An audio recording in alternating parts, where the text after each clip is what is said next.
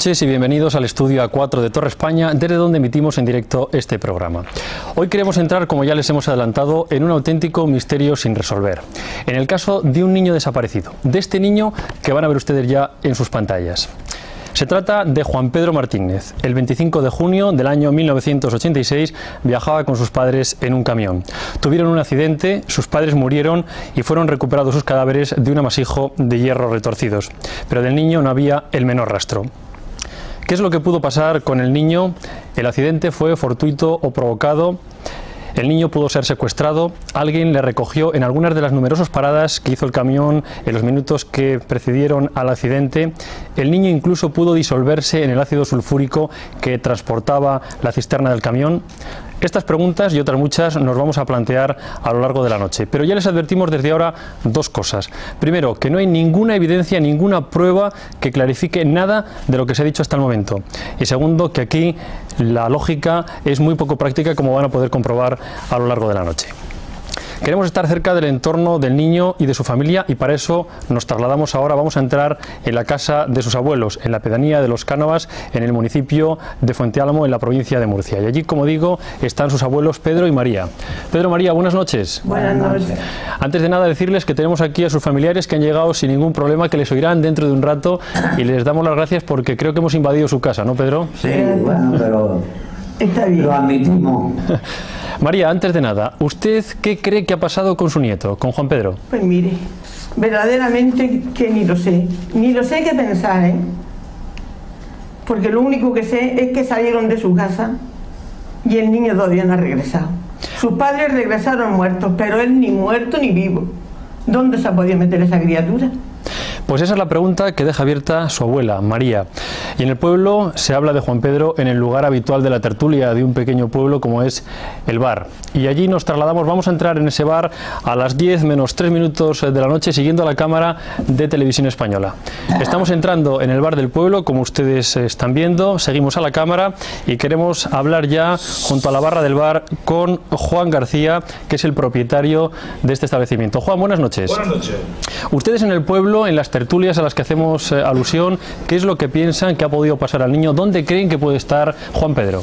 Pues mire usted, el pueblo, tanto yo como el pueblo, creemos que el niño no fue muerto como su padre su madre, fue que se lo quitaron antes de llegar al sitio que, que tuvo el accidente. El niño, el chaval, desaparecía cuando contaba con 13 años. Estamos viendo al hijo de Juan García, de la misma edad, sería más o menos el retrato físico que a estas alturas, cinco años después, seis años después, tendría Juan Pedro. Es la referencia que nos puede servir, por lo menos, para que nos hagamos una idea de cómo podía ser físicamente Juan Pedro ya con 18 años. Y tal vez usted haya podido ver a nuestro protagonista estelar de hoy, a Juan Pedro Martínez. Su historia la hemos recordado ya en rasgos generales, ustedes probablemente la conocen, pero queremos entrar en los detalles, queremos refrescar la memoria. Vamos a ver el reportaje que hemos elaborado.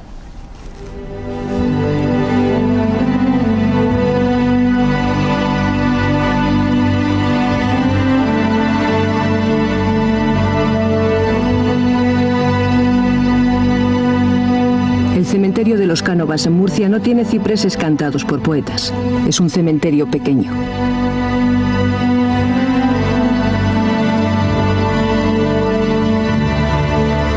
Entre sus silencios y recuerdos, sin embargo, una tumba en medio de flores guarda enterrado un misterio. Un secreto callado desde hace cinco años. No te olvidaré jamás, hija mía, no te olvidaré jamás. Jamás, hija mía. Tu hijo, nos falta tu hijo, hija mía. Nos falta tu hijo, hija mía. Hija de mi corazón. Unas buenas notas. Juan Pedro había sacado unas buenas notas. Y como premio su padre cumplió lo prometido, llevárselos a él y a Carmen en un transporte que tenía que hacer a Bilbao. Otras veces habían ido juntos los tres, pero nunca con la cisterna cargada con 20.000 litros de ácido sulfúrico. La vida de María, la abuela, se ha quedado congelada en aquel 24 de junio, en aquel santo de Juan en el que Andrés y Carmen iniciaron su viaje hacia la muerte.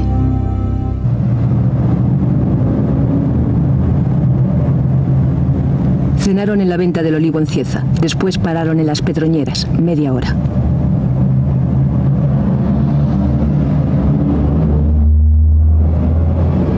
Una gasolinera cerca de Madrid le sirvió al camionero para echar una cabezada. A las seis desayunaron en el bar Aragón.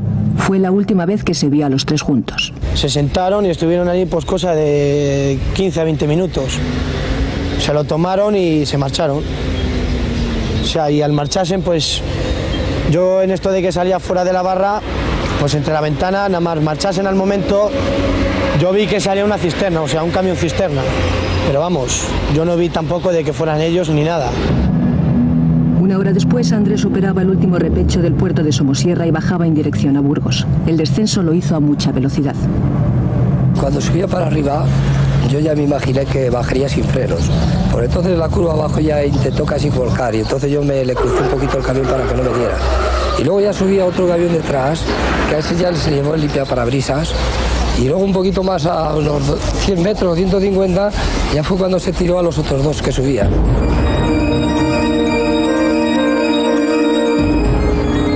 Las 7 menos 25 de la mañana el camión se estrelló en la vertiente norte del puerto de Somosierra, en la línea divisoria entre Madrid y Segovia. La cabina en la que viajaban el camionero y su mujer quedó totalmente aplastada bajo el tráiler. Los cadáveres de Andrés y Carmen no pudieron ser rescatados hasta 10 horas después. Juan Pedro, sin embargo, no estaba entre los restos, ni vivo ni muerto. Cuando eran las 12 o así, mi hijo viene diciendo, mamá no llores, que Zaga, el Zaga no está muerto, que no está con ellos. Ay, yo, ya parece que reviví un poco, digo, hijo mío, pero ¿dónde está el crío? Y dice, no sabemos dónde está mamá, alguien se la habrá llevado, el crío no está allí.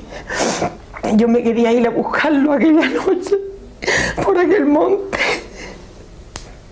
Iban buscando si, si, sin a un creso, que no se querían de porque que era, que era imposible de que fuera el chiquillo allí en el camión, porque no encontrase allí restos de, de, de chiquillo, entonces para ellos era casi imposible de que fuera. Entonces, aunque estaban buscando, pero sin to- totalmente de que iba el chiquillo en el camión.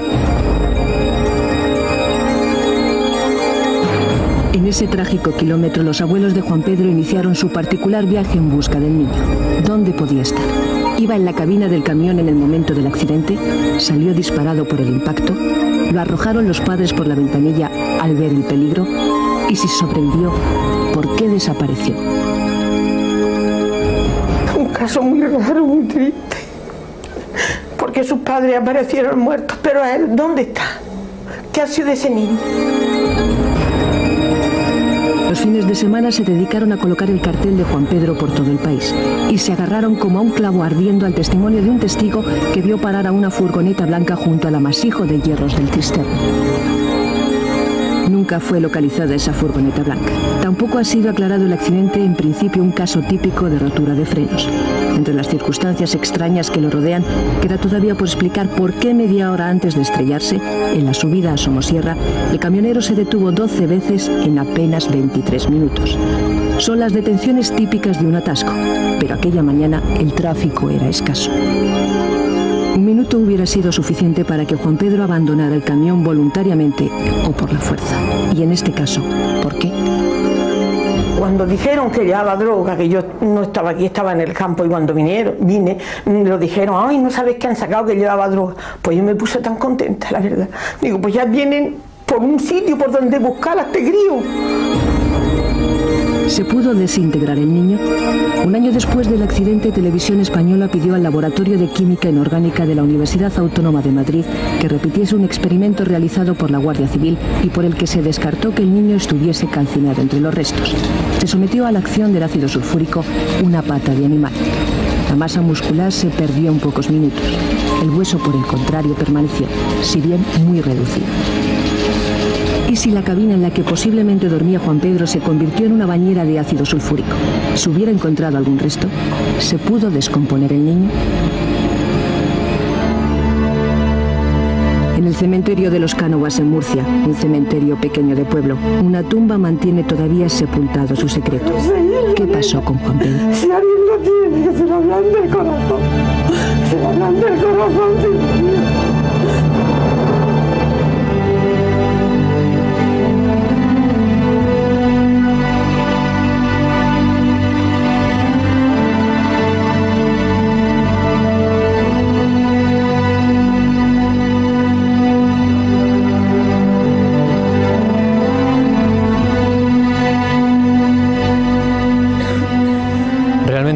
Impresionante el suceso del niño, nada se sabe. Hay algunas eh, cosas que mm, dan lugar a plantear muchas preguntas. La primera e inmediata, ¿el accidente fue fortuito o provocado? Esta respuesta la vamos a buscar con un hombre que conduce habitualmente un camión y que es el vicepresidente de una de las patronales del transporte Frenadismer. Enrique Marañón, buenas noches. Buenas noches. Hemos dado ese dato. 13 paradas, 12 paradas en 23 minutos poco antes del accidente. Subiendo un puerto, ¿esta es una situación normal? An- totalmente anormal. ¿Qué significa esto? Mm, significa que mm, si este hombre tenía algún problema mecánicamente con el camión, evidentemente aunque hubiera parado cuesta arriba, no se hubiese tirado el puerto cuesta abajo.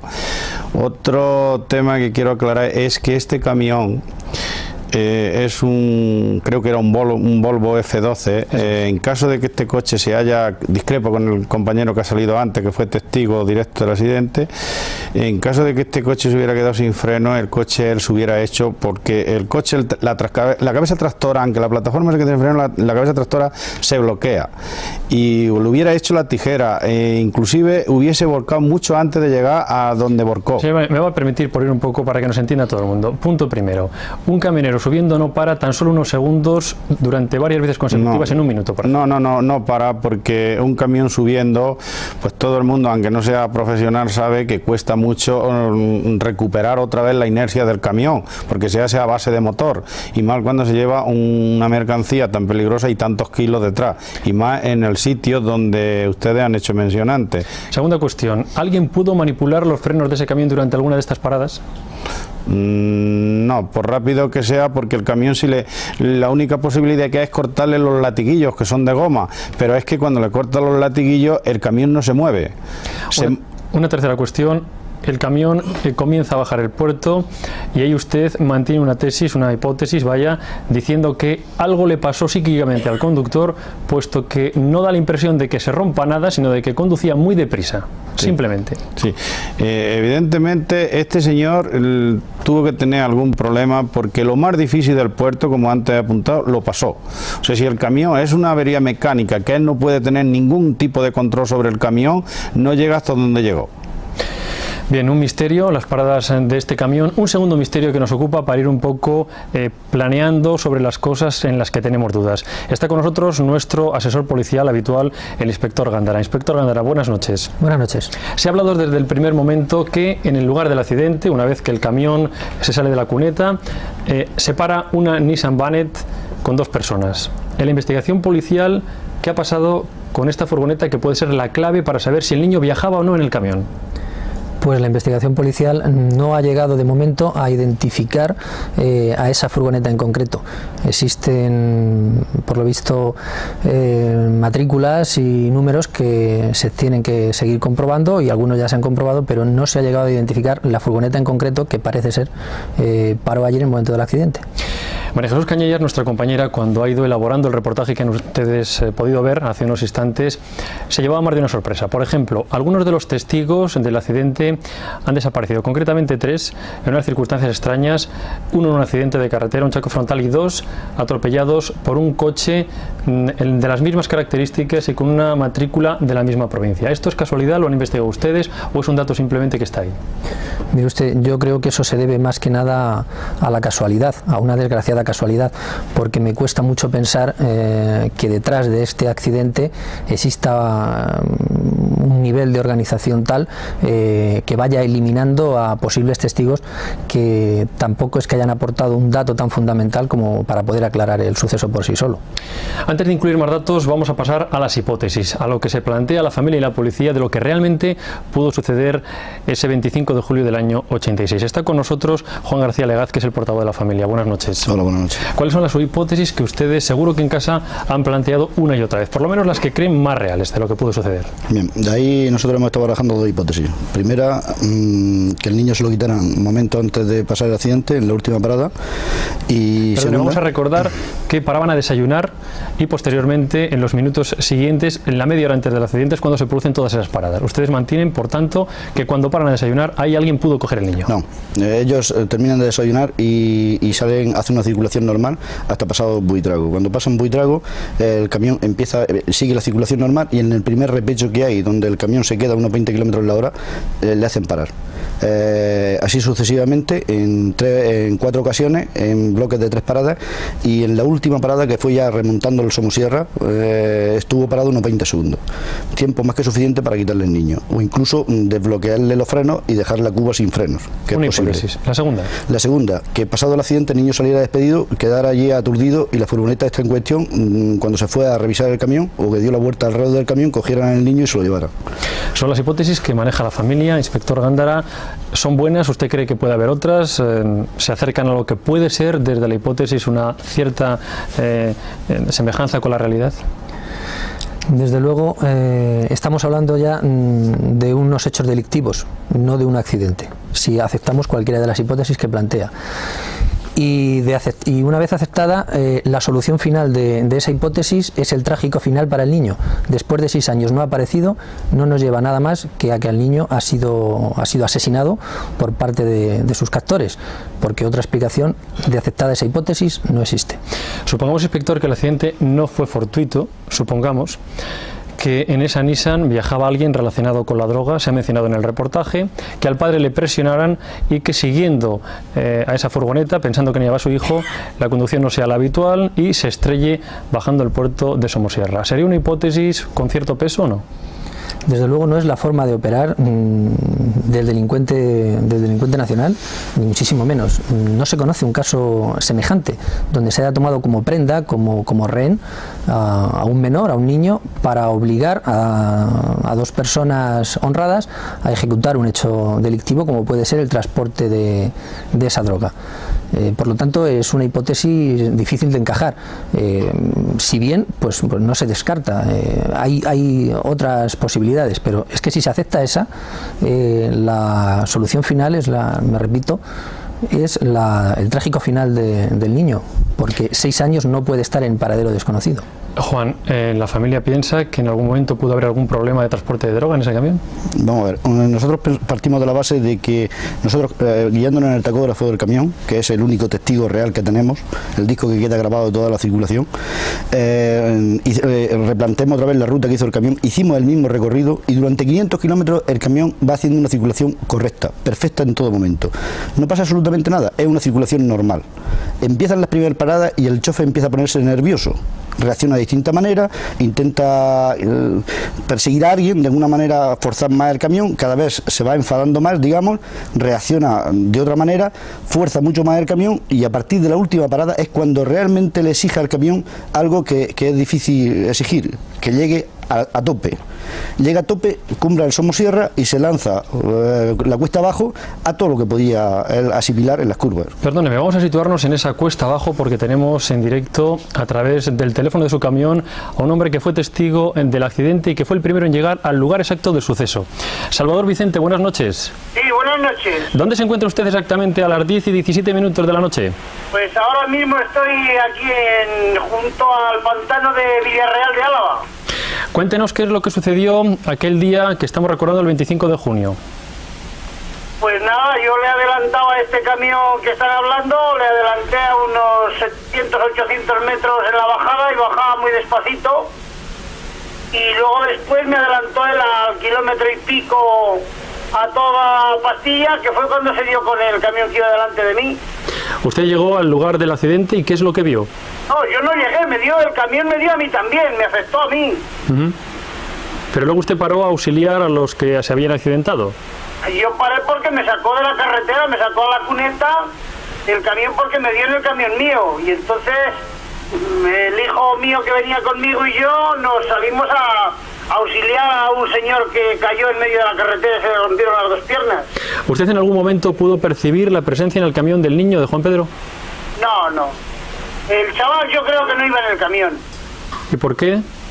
Pues porque allí yo no vi nada, ni mi hijo tampoco, y lo único que ocurrió que según estábamos tapando al señor este que se rompió las piernas, con las mantas que yo llevaba en la litera del camión, pues vino una furgoneta, una vané blanca, y estuvo allí parada, pues nada, segundos, a ver qué podía hacer, porque dijo que su mujer era enfermera, se salió la mujer también de, de la furgoneta, estuvieron viendo al señor este que tenía las piernas rotas, se volvieron a montar en la furgoneta y se largaron por, de- por para abajo dirección Segovia que, que no se veía ya con el humo que había del ácido sulfúrico ese que llevaba la cisterna. Usted mantiene, por tanto, que en esa Nissan Vanette no iba el niño Juan Pedro, iban solo ese matrimonio que se paró para ayudar. Eso ya no lo puedo yo decir, porque la furgoneta Vané era cerrada y el matrimonio iba adelante, pero atrás no sé qué llevarían.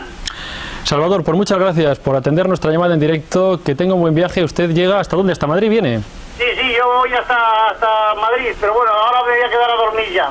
Pues mucho cuidado en la carretera y que llegue bien a casa mañana. Bien, vale, muchas gracias. Gracias a usted. A mandar. En este caso podemos asegurarles que se plantean muchas hipótesis y yo me gustaría contarles un sueño, algo tan simple como un sueño. Nos lo ha contado un empresario que no quiere dar su nombre. No lo hace simplemente porque tiene miedo que alguien, no, no que pueda reírse de él, sino que lo puedan utilizar, pues hombre, en su trabajo alguien puede utilizarlo en plan de broma y no es para broma su sueño, al menos él cree que no es para broma. La víspera del accidente se despertó sobresaltado. Había soñado con el accidente de un camión y con un niño que salía con la memoria perdida y que se situaba en un camino forestal junto a una valla. No le dio mayor importancia, pero cuando compra el periódico al día siguiente, reconoce en la foto de Juan Pedro el niño de su sueño. Un año después vuelve a soñar con este joven. En su sueño se le aparece Juan Pedro y le dice, búscame porque me traslada una familia de gitanos que es la que me tiene en una cabaña. No le da tampoco mayor importancia, pero cuando pasan los días decide ir al puerto de Somosierra, al lugar del accidente, a ver qué es lo que puede encontrar allí, que por lo menos le tranquilice después de haber soñado esta historia. Va al puerto, patea el lugar del accidente y no encuentra nada. Cuando ya cree que tranquilo puede volver a su casa, se para en un bar de las inmediaciones del puerto a tomar un café. Allí le pregunta al camarero, oiga, ¿no habrá por aquí un camino forestal con una valla donde pueda yo hacer unas fotos? Le dicen que efectivamente, que ese camino forestal existe y que está a muy pocos metros del accidente del camión. Vuelve de nuevo, ve el camino, ve la valla, se asusta y piensa que si sigue buscando hubiera encontrado también la cabaña a la que hacen alusión sus sueños. Por tanto, él mantiene que sus sueños le dicen que el niño está vivo, que alguien lo encontró después del accidente y que se lo han llevado fuera de nuestro país. Es un sueño, pero aquí los sueños también valen porque no hay nada que pruebe dónde puede estar este niño. Vamos a volver a Cánovas a hablar con sus abuelos, con María fundamentalmente. María, buenas noches de nuevo. Detrás de la puerta de la casa. ¿Dónde está María? Que no la veo. Pues es que esa. Ya, ya, ya estoy aquí. Ya nos ve. Sí. Bueno, ustedes siguen buscando a su nieto todavía y esperan seguir buscándolo hasta que le encuentren. Sí, sí, por supuesto. Por supuesto que sí. Usted sigue manteniendo que alguien se lo pudo llevar. De todo lo que ha oído esta noche, ¿qué es lo que más le convence, Yo, María? mm, por supuesto que está vivo. Que está vivo. Lo que me convence es eso de que podía estar con la, con la familia gitana. Eso es lo más, y se lo llevara. Es más un deseo, ¿verdad, María? Desde luego que sí. Bueno, ¿ustedes cómo han buscado a su nieto en los últimos años? Porque no han desfallecido en ningún momento. buscándolo sin parar. A donde quiera que nos dicen que puede haber alguien que nos pueda dar alguna pista, sea evidente, o sea quien sea, ya que vamos. ¿Han recibido alguna llamada comunicándoles que habían visto al niño? ¿Dónde podía estar? Sí, muchas, muchas llamadas, muchas llamadas. ¿Cómo las Pero comprueban? todas han sido inútiles. Ustedes las comprueban una por una, va la familia a comprobarlas, llaman a la policía. ¿Cómo es- ¿Qué es lo que hacen? Claro, pues de seguida a ir a buscarlas directamente. Mi hijo los llama, los llamaron un día por la mañana y de seguida a Barcelona, que estaban en Barcelona, que estaban en Barcelona. Pues enseguida cogió mi hijo el coche, que no había estado nunca en Barcelona, ni él había viajado mucho. Cuando ha viajado sido ahora en el accidente de su hermana. Y enseguida cogió el coche y se fue a Barcelona.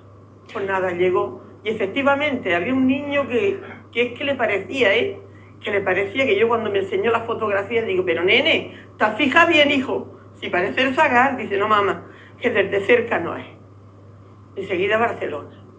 A donde quiera, a Baza, a todos sitios, hasta incluso el domingo, este domingo próximo, ha pasado. Fueron a Valencia, porque había un curandero como vidente que dicen que acierta las cosas, y allá que fueron. El próximo viernes tenemos una cita para ir también a otro que dicen que está cierto que está vivo y que si nosotros queremos que lo va a traer por mediación de lo que sea, y desde luego pues iremos. Porque yo creo que mi nieto está vivo, en algún sitio. Usted mantiene la esperanza, por tanto, de que su nieto, que lo van a encontrar y que pronto volverá Yo a sí, casa. que tengo la esperanza esa de que está vivo. ¿Usted cree que, que la habitación del niño la mantiene tal cual cuando desapareció Tal igual que la dejó. Igual que la dejó. Todas sus cosas igual que se las dejaron. María, no queremos eh, verla sufrir, vamos a acercarnos al bar, puesto que los vecinos eh, de Los Cánovas, en Fuente Álamo, comparten angustia con esta familia. Juan, Todo el mundo, todo el mundo, todo- todos los conocidos y aunque no lo conozcan, todo el mundo sufre y lamenta el caso. vamos, como les decía, al bar. Juan, buenas noches de nuevo. Juan, ¿me escucha? Sí. Vamos, si le parece, a dar un poco, a hacer un repaso a lo que se hace en el pueblo para intentar localizar al niño. ¿Qué es lo que hacen ustedes? ¿Cómo se organizan para que la búsqueda de Juan Pedro no se interrumpa seis años después? Pues minuto, háblame. Le estamos escuchando, Juan. Sí. Miren, todo el pueblo está como su abuela estaba diciendo hace un momento. Porque todo el mundo está. que, es- que dice que no está el niño muerto. El niño se lo llevaron pues antes del accidente. El pueblo cree que fue así. Y, y luego todo el mundo cree que el niño está vivo porque no hacen más que llamar, llamadas por teléfono, el uno que está en tal sitio, el otro que está en otro, y, y desde luego creen que está vivo. Vamos a escuchar, Juan, a los vecinos que tiene usted a su lado. Vamos a empezar a hablar con ellos, si les parece. Cuéntenos, por favor, cuáles son las teorías que ustedes manejan de lo que han oído esta noche, qué es lo que creen que se acerca más a la realidad, a lo que pudo pasar ese 25 de junio del año 86. Bueno, pues yo, yo opino con lo que ha dicho Juan García. Vamos, es lo que más cerca está de- del caso. Y, en fin, es lo que yo más barajo. Yo estoy con lo que dice mi Juan. Que está- yo creo que fue, fue quitado de, antes del accidente. Eso es lo que, mi opinión. Usted mantiene que el niño salió del camino antes del accidente. Sí, yo creo que sí. Vamos a pasar el micrófono a otro de los vecinos del pueblo. ¿Cuál es su opinión? Bueno, mi opinión, desde luego, la opinión que tengo yo es que el niño eh, no pudo desaparecer con el ácido, porque el niño tenía, eh, tenía 12 años y estaba muy desarrollado y, y para todo el pueblo es imposible de que el ácido le, le metiera mano. Al- algún resto tenía que quedar, porque los padres iban en el camión y, y quedaron los restos de ellos. Entonces, mi opinión es que yo creo que se lo quitaron antes de, de tener el accidente. Vamos a pasar el micrófono a otro vecino a ver si hay alguna otra versión en el pueblo de lo que Buenas se habla en el día a día. Buenas noches. Yo pienso que se lo quitaron antes de llegar. ¿Por qué? del- a subir al puerto. ¿Por qué piensa que se lo quitaron? ¿Porque habrá alguna causa? ¿eh? ¿Cuál es la si causa? El camión hace dos o tres paradas, pues por algo sería. ¿Podía tener algún problema, Andrés, el camionero, para que le quitaran a su hijo? ¿Le presionaría a alguien? Pues le presionaron, creo yo. ¿Por qué? Pues no lo sé. ¿Nunca se lo han planteado en las tertulias de café? De vez en cuando lo planteamos y tal, pero tampoco lo podemos asegurar. Vamos a pasar el micrófono a otro... Vamos a pasar el micrófono a otro vecino. Buscamos una última opinión en el bar de los Cánovas. Buenas noches. Buenas noches. ¿Cuál es su versión de lo que pudo pasar aquella tarde, aquella noche Pues, con el camión? Mi versión de lo que pudo pasar aquella noche ¿eh? fue que al salir del restaurante a Andrés le quitaron eh, Juan Pedro, que era su hijo. Entonces yo, para mí, desde luego que se lo quitaron. ¿Por no qué? estaba, por supuesto, cuando tuvo el accidente eh, en el camión, pero de ninguna manera, es que de ninguna manera. ¿Pero por qué le quitarían a su hijo? ¿Por qué? Pues no lo sé, no lo sé. Habemos tantos piratas en esta vida, desde luego, y la justicia para mí es que no se dedica prácticamente a buscarlo. ¿eh? Pero que claro, se lo quitaron, desde luego. El- la criatura para aquí, para la pedanía de los canoas, eh, estamos totalmente ciertos, y lo tenemos bastante cierto, de que el crío está vivo. Está ¿Dónde? vivo y en algún lugar. Dindo, ¿Dónde? No lo sabemos ahora. Está vivo. Perfecto. Hay una opinión que han dado desde este lugar, desde los Cánovas, en la que hay una duda, que el niño pudiera en algún momento haberse disuelto en el ácido sulfúrico. Es una teoría que tampoco queremos desechar. Y está con nosotros Lucas Hernández, catedrático de Química Analítica de la Universidad Autónoma de Madrid. Señor Hernández, buenas noches. Buenas noches. ¿Realmente hay alguna posibilidad de que el niño eh, pudo, quedar- pudo disolverse en el ácido? Bueno, las propiedades del ácido sulfúrico, como sabemos los químicos, tiene una primera propiedad deshidratante, en la cual se de, con un gran desprendimiento de energía, cuando está concentrado tiene una propiedad oxidante, con lo cual la materia orgánica puede ser oxidada incluso hasta CO2, sobre todo en caliente, y tiene sus propiedades ácidas que puede actuar como disolvente y de hecho en la síntesis de ácido fosfórico se utiliza el fosfato cálcico. Yo le pediría, señor Hernández, que no sea tan técnico porque nos podemos perder. Es decir, en Sí, definitiva, perdón. si el niño quedó envuelto por ácido sulfúrico, ¿pudo quedar disuelto dentro de ese ácido o no? Evidentemente, si le, eh, le cayó sobre el niño una cantidad grande de ácido sulfúrico y estuvo en contacto eh, con, él, con él durante un periodo de tiempo relativamente largo, pudo ocurrir. Es, ahora, ¿ocurrieron los hechos así? Pues no lo sabemos. Hay, por tanto, una posibilidad de que eso pudiera ser real.